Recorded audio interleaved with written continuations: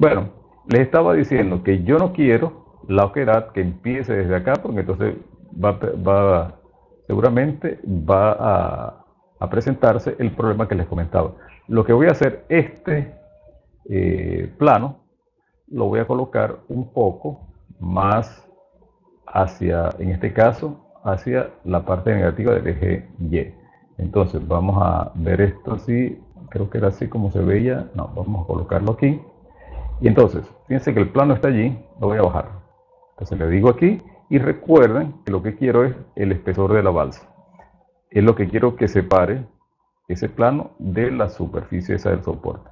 Entonces venimos aquí donde dice Attachment Offset, aquí donde dice posición, y le voy a decir acá que, repito, positivos hacia arriba tiene que ser entonces negativo. Entonces menos, eh, voy a colocar aquí balsa, menos dd punto balsa espesor. Y con eso va a bajar la cantidad que quiero. Y ahora el, el croquis está allá abajo. Bien, ahora vamos a llamar esto oquedades. Así fue como decidimos llamarlo. Vamos a buscar aquí entonces en la etiqueta. A veces se me pierde. Aquí está. Oquedades. Entonces, tenemos ya casi todo para eh, eh, crear una oquedad y después hacer el patrón lineal. Bien, este, oquedades. Vamos ahora a pasar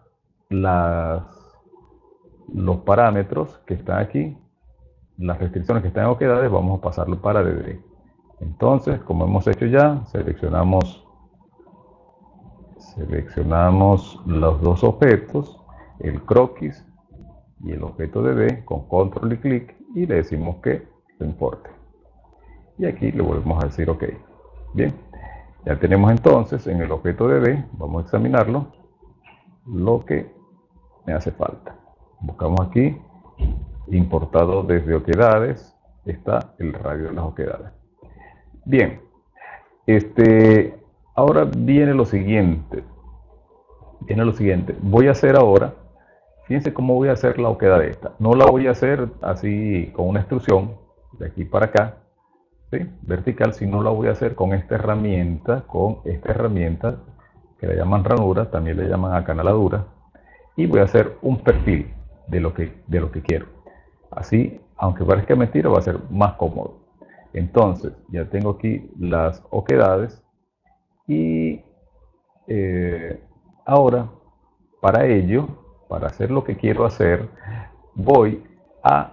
Mm, voy... Vamos a quitar esto acá. Voy a crear un sistema, vamos a ocultar esto también. Voy a crear un sistema de coordenadas local donde para acá apunte X, para acá apunte Y, para acá apunte Z y para apunte Z. Y para eso fue justamente que creé esta parte de acá. ¿Ok? Entonces, puedo utilizar esta parte de acá ya estoy aquí en, esta, en este lugar, pero lo que voy a hacer es lo siguiente.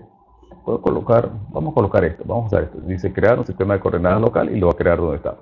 Entonces, este, aunque yo voy a usar mejor este de acá, este, este assembly 4, vengo para acá y le voy a decir que, que use esto.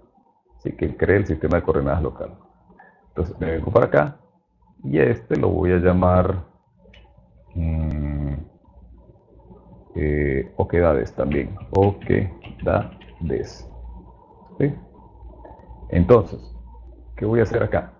vengo y voy a seleccionar lo que voy a seleccionar aquí primero va a ser esta, este punto ok voy a seleccionar ahora este punto y voy a seleccionar ahora este punto y entonces, ¿cuál es la forma que quiero aquí? Bueno, ya les dije, quiero que para que esté X, para que esté Y y para que esté Z, entonces lo que quiero hacer será, va a ser alinear O, que fue el primer vértice, X y después Y. Le doy acá y le doy OK. Y ahí tengo mi sistema de coordenadas local. Bueno, voy a seguir acá. Voy a crear ahora utilizando utilizando el el sistema de coordenadas que acabo de crear, voy a crear un croquis. Vamos a hacer esto en la siguiente en, en el siguiente video. Mientras tanto, mi invitación a que se suscriban a mis canales de Odyssey y de YouTube, a que compartan, le den a la campanita y si les gustó que le den like. Saludos.